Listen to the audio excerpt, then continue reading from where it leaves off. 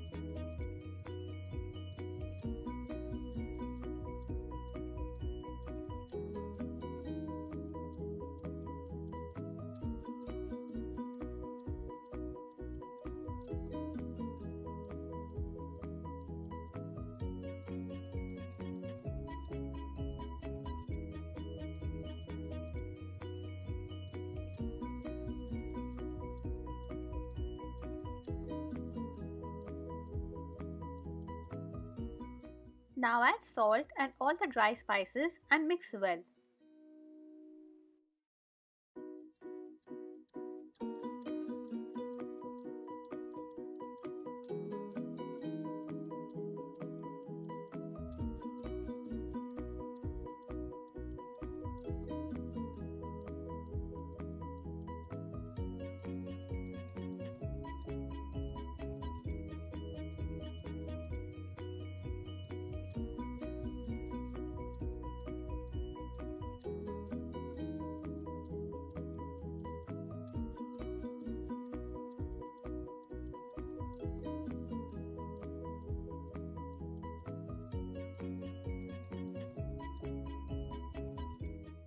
Take some slices of bread and cut the sides off.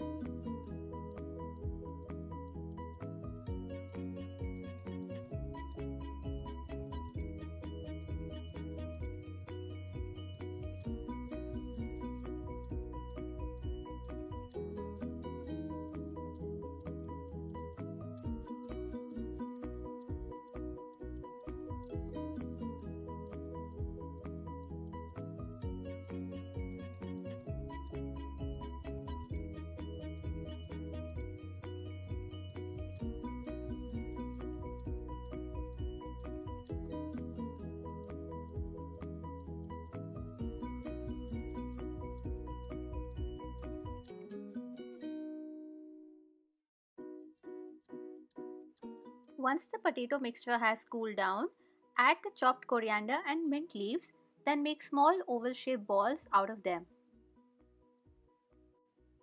Take some water in a bowl, dip the bread slice and squeeze the water out. Then place the mixture ball in the center and close properly.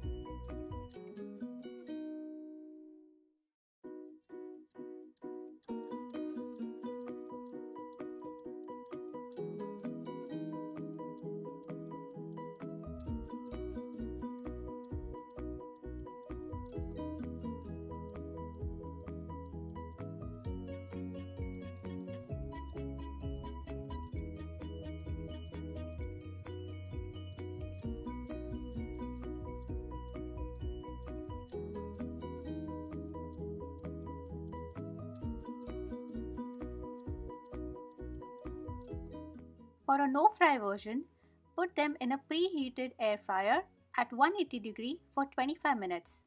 Or for a fried version, deep fry them until they turn golden brown.